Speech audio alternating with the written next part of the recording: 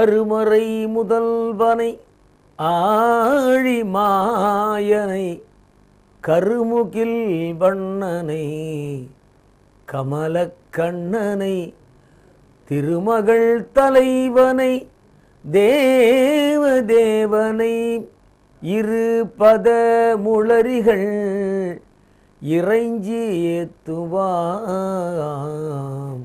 கோபிகா ஜீவனஸ்மரணம். கோவிந்தா கோவிந்த. அவனருளாலே அவன் தாழ் வணங்கி என்றபடி இறைவனுடைய பெருங்கருணையினாலே விஷ்ணு சஹசிரநாமத்தை சிந்தித்துக் கொண்டிருக்கிறோம்.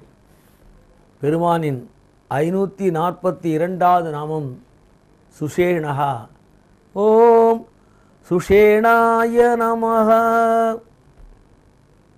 சுஷேணகான்னு சொல்லுகிற பொழுது ஐந்து உபனிஷத் மந்திரங்களால் ஆன திருமேனியே தன்னுடைய மேனியாக கொண்டிருக்கிறார் என்று இதற்கு பொருள். இறைவன் உருவமற்றவர் நிர்குணம். அந்த நிர்குண சொருவம் சொல்லுகிற பொழுது நம்மேல் வைத்த எல்லையில்லாத கருண கருணையினாலே வடிவம் எடுத்து விடுகிறார். இப்படி வடிவம் எடுத்து வருகிற பொழுது தனக்கென்று ஒரு திருமேனி அமைத்துக் கொள்கிறார். இந்த திருமேனி அமைத்துக் கொள்ளுதல் என்பது அழகாக ஐந்து உபனிஷத் மந்திரங்களானதாக அமைந்திருக்கிறது என்று இந்த நாமத்திற்கு பொருள். சிறந்த சேனையை உடையவர் என்றும் இதற்கு நாம் பொருளலாம் சு என்று சொன்னால் மேலான நல்ல சிறந்த ஷேனகா என்று சொல்லுகிற பொழுது சேனை உடையவர். எனவே மிகச்சிறந்த நல்ல சேனை உடையவராக இருக்கிறார். இந்த மந்திரங்களையே சேனையாக உடையார் என்பதனாலே ஒரு சக்தி வாய்ந்த சேனையாக அது அமைந்திருக்கிறது. நல்ல சேனை என்று சொல்லுகிற பொழுது அவரிடத்திலே ஒன்பது கணங்கள் சேனைகளாக இருக்கின்றன என்ற ஒரு குறிப்பை நாம் புராணங்களிலே பார்க்கிறோம்.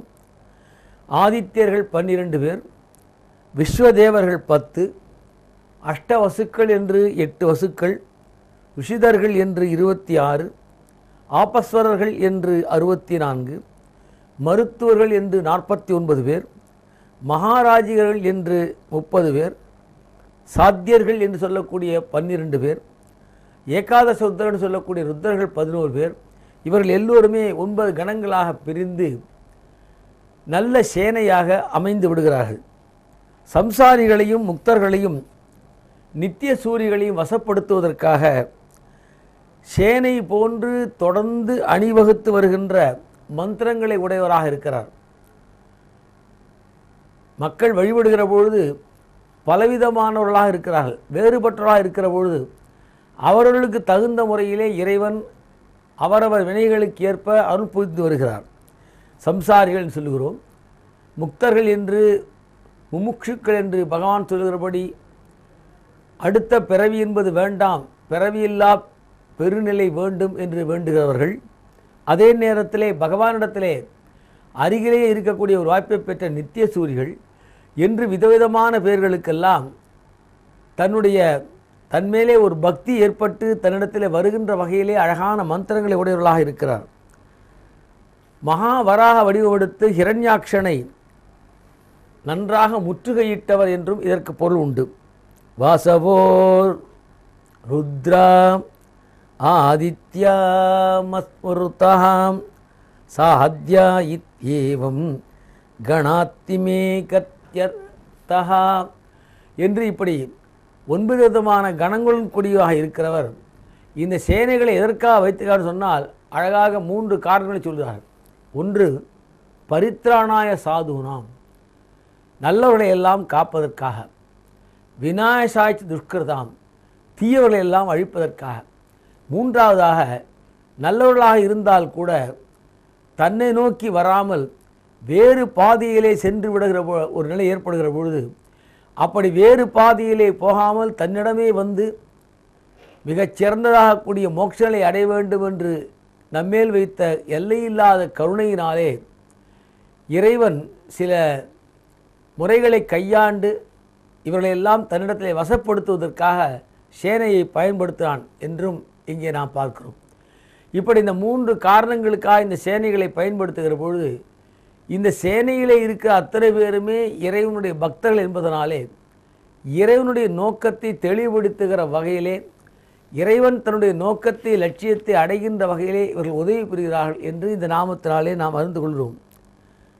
பகவத்கீதையில் இறைவன் சொல்லுகிற பொழுது ஒவ்வொரு கணத்திலேயும் தான் யாராக இருக்கிறேன் என்பதையும் சொல்லுகிறார். ஆதித்யானாம் மகம் விஷ்ணுத்தயோதிஷாம் ரவிரம் சுமான் மரீமீச்சீர்பருதா மருதாஸ்திமி நட்சத்திராணாமகம் சசிஹி. நட்சத்திரங்களிலே சந்திரனாக இருக்கிறேன் என்பது போல ஒவ்வொரு கணத்திலேயும் ஒரு குறிப்பிட்ட நிலையிலே தான் எப்படி இருக்கிறேன் என்பதையும் அழகாக கீதையிலே வெளிப்படுத்துகிறார் சுவாமி. அப்படி இறைவன் ஒரு நல்ல படையை உடைகிற பொழுது இந்த பூமி என்று வந்துவிட்டால் இறைவனுக்கு என்று ஒரு அழகான ஒரு சேனை இருக்கிறதாம். அதுதான் இங்கே அவனுடைய அடியார்கள் சொல்லப்படுகிறார்கள். பாகவதர்கள் பக்தர்கள் இவர்கள் புடைச்சூட இறைவன் வருவதிலே மிகவும் மகிழ்ச்சி அடைகிறானாம். அறிவையர் சூழ வந்து அஞ்சல் என்பாய் என்று அபிராமன் சொல்கிற பொழுது அம்பிகை சப்த கன்னிகளோடு வருகிறார் ஒன்பது கன்னிகளோடு வருகிறார். அப்படி வருகிற போது அவளுடைய அந்த தாயினுடைய கருணை மிக பெரிதாக இருக்கிறது என்று அபிராம் பட்டர் விளக்குவார். ஆனால் இங்கே இறைவன் சொல்லுகிற பொழுது எப்பொழுதுமே இறைவன் தன்னுடைய அடியார்களுடைய வருகிறானாம். எனவே அவனை பொறுத்தவரையிலே இந்த அடியார்களுடைய கூட்டமே அவனுக்கு மிகப்பெரிய சேனையாக இருக்கிறது. தனக்கென்று ஒரு படையை வைத்துக் கொள்ள வேண்டிய அவசியம் அவனுக்கு இல்லாமல் போய்விடுகிறது. மாசில் அடியார்கள் வாழ்கின்ற ஊர் சென்று தேறி விளையாடி அங்கனே நின்று வாழும் மயில் வீரன் என்று முருகப்பெருமான் அடியார்கள் இருக்கிற இடத்துக்கு போய் அவனை தன்னோடு சேர்த்துக் கொள்கிறானாம். அதே போல் மகாவிஷ்ணு எடுத்துக்கொண்டால் நாகம்பசாமி வைக்குண்டே ந யோகி ஹிருதயரவ் மத்பக்தாக எத்திர காயந்தி தத்தர் சிஷ்டாமி நாரதா என்று நாரதத்திலே குறிப்பிடுகிற பொழுது என்னை எங்கே பக்தர்கள் பாடிக்கொண்டிருக்கிறார்களோ ஆடிக்கொண்டிருக்கிறார்களோ அவர்களுடனே நான் இருக்கிறேன் என்று உறுதிபட கூறுகிறான். அதே போல் சிவபெருமான் எடுத்துக்கொண்டாலும் அவரும் சொல்லுகிறார் உடையாள் உந்த நடு இருக்கும். உடையால் நடுவில் நீ இருத்தி. நீவிர் இருவிரும் அடியார் நடு இருப்பதனால் என்னை அடியாருள் நடுவில் இருக்க பணித்தி பொன்னம்படுத்த முடியா முதலே என்று பாடுகிற பொழுது அடியார்களுடைய இருப்பது இறைவன் விரும்புகிறான் என்று நாம் இங்கே பார்க்கிறோம். எனவே இந்த சூழல் என்று வருகிற பொழுது சத்தங்கத்தினுடைய சூழல் என்பது இறைவனுக்கு மிகப்பெரிய சே நல்ல சேனையாக இருக்கிறது. அதனால்தான் இறைவனுடைய நாமங்களை சொல்லி நாம சங்கீதம் செய்து அவனுடைய இருக்கின்ற அடியார்கள் ஒன்றாக சேர்ந்து எதையுமே சாதிக்கக்கூடிய ஒரு வல்லமை படத்தில் இருக்கான்னு சொன்னால் அதுக்கு அடிப்படையான காரணம் இறைவன் தன்னுடைய சேனையாக இவளை கருவது என்பதனால்தான். ஏனால் இறைவனுடைய சேனைகளுக்கு எப்பொழுதுமே தோல்வி என்பது வருவது இல்லை. எடுத்த காரியம் யாவினும் வெற்றி என்பதனாலே இறைவனுடைய சேனையிலே இருப்பது என்பது மிக மிக புண்ணிய ஒன்று செயல். இறைவன் நம்மை சேர்த்து கொள்வானா என்ப ஒரு ஏக்கம் நமக்கு இல்லாமல் இறைவனுடைய சேனையிலே சேருவதற்கு நமக்கு என்ன தகுதி வேண்டுமோ அந்த தகுதிகளை நாம் பெற்று அதற்கு தகுதியாக்கி கொண்டு விட்டோமானால் நிச்சயமாக இறைவன் நம்மை அந்த சேனையிலே ஒருவராக சேர்த்து கொள்வான் என்று நாம் புரியலாம் ஏன்னா இறைவிடத்தில் போய் என்று நாம் கேட்கிறோம் இறைவனே எனக்கு ஏதாவது வேலை கொடு. உனக்கு கைங்கரியம் செய்யக்கூடிய பேர் ஏதாவது எனக்கு கொடு என்று நாம் கேட்கிறோம். மில்டன் என்று ஒரு ஆங்கில கவிஞர் அழகாக எழுதுவார் அவருக்கு பார்வை போய்விட்டது. பார்வை போன உடனே அவர் இறைவன் மேலே கோபப்பட்டு சொல்லுகிறார் இறைவா இந்த சின்ன வயதிலேயே என்னுடைய பார்வை எடுத்து விட்டாயே. இனிமேல் உன்னை யார் பாடுவார்கள்? என்று கேட்கிறார். அதாவது என்னதான் இறைவனிடத்திலே ஒரு முறையிட்டால் கூட உன்னை இனி யார் பாடுவார்? என்று சொல்லுகிற பொழுது தன்னை விட்டால் இறைவனரை பாடுவதற்கு வேறு யாரும் இல்லையோ? என்கிற ஒரு கேள்வி நமக்கு எழுகிற வகையிலே அவருடைய பாவனை அமைந்து விட்டது. அதனால் இறைவன் என்ன நினைக்கிறான்?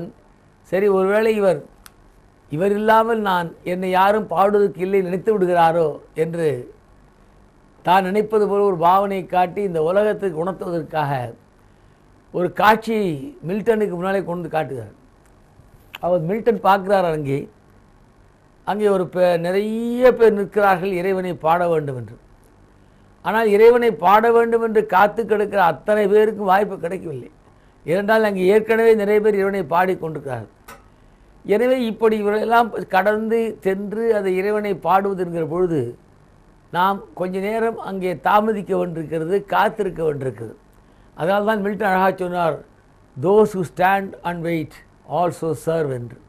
அதாவது யார் நின்று கொண்டு காத்திருக்கிறார்களோ அவர்கள் கூட இறைவனுக்கு தொண்டு செய்கிறார்கள். எனவே காத்திருத்தல் என்று வரும் பொழுது நாம் இறைவனுக்காக காத்திருக்க வேண்டும். காங்ஷத்தி என்று அழகாக சொல்வார். ராமபிரான் எப்பொழுது வருவார் என்று பரதாழ்வார் ஆவலோடு காத்து கொண்டிருக்கிறார். அதே போல் கோபிமார்கள்லாம் கண்ணன் எப்பொழுது வருவான் என்று காங்ஷத்தி என்று காத்து கொண்டிருக்கிறார்கள். இதனுடைய பொருள் என்னன்னு சொன்னால் இறைவனுடைய வரவுக்காக காத்திருத்தல் என்பது இந்த ஜீவனுக்கு மிக மிக தேவையான ஒன்று. ஏன்னா இறைவன் எந்த காலத்தில் வருவான்? கோல குரத்தியோடு எந்த நேரத்தில் வருவான் என்பதனாலே அவன் எப்பொழுது வருவான்னு சொல்ல முடியாது. எனவே அவன் வருகிற பொழுது அவனை வரவேற்பதற்கு நாம் தயாராக இருக்க வேண்டும். இதைத்தான் காத்திருத்தல் என்று சொல்லுகிறோம். எனவே காத்திருத்தல் என்று நிறைவேறு நிறைவேறும் பொழுது இறைவன் நம்மை நோக்கி வந்து விடுகிறான் என்பது அங்கே கிடைத்து விடுகிறது. எனவே இங்கே இறைவன் எப்பொழுது வேண்டுமானால் வந்து விடுவான் என்பதனாலே அவனுக்காக நாம் காத்திருக்கிறோம் என்பதனாலே காத்திருப்பவரை ஏமாற்றக்கூடாது என்று இறைவன் வந்து விடுகிறான் என்ற ஒரு கருத்தும் இங்கே நாம் பார்க்கிறோம். எனவே சுஷேனகான் சொல்கிற பொழுது இறைவன் அடியார்களோடு இருப்பதையே விரும்பி கொண்டிருந்தாலும் கூட அடியார்களும் அவன் வருவதை விரும்புவதாக இருக்க வேண்டும் என்று இப்படி ஒருவருக்கு ஒரு பரஸ்பரமாக ஜீவாத்மா பரமாத்மா ஒன்றை ஒன்று விரும்புவராக இருக்க வேண்டும். இறைவன் சொல்லுவான் தன்வி கிண்ணம் அசூயா. ஜெயதேவர் பாடுகிற பொழுது சொல்லுகிறார் தன்வி கிண்ணம் அசூயா சகத குபிதேவ ஹரி ஹரிஹத ஆதரதயா. ஒருவேளை பொறாமையினாலே தாழ்வு மனப்பான்மையினாலே கோபத்தினாலே இடத்திலே ராதை வராமல் போய்விட்டாளா? எனவே இந்த ஜீவாத்மா இறைவனை அடைவதற்கு பலவிதமான அகங்கார விஷயங்கள் தடைகளாக இருக்கின்றன. இதையெல்லாம் தாண்டி இறைவனத்திலே நம்மை முழுமையாக ஒப்படைத்து கொள்ள வேண்டும் என்கிற பொழுது இந்த சுஷேனகா என்ற இறைவன் சேனையிலே உருவாக நம்மை ஏற்றுக்கொண்டு விடுவான் தான் இந்த நாமத்திலே நாம் பொருள் கொள்கிறோம்.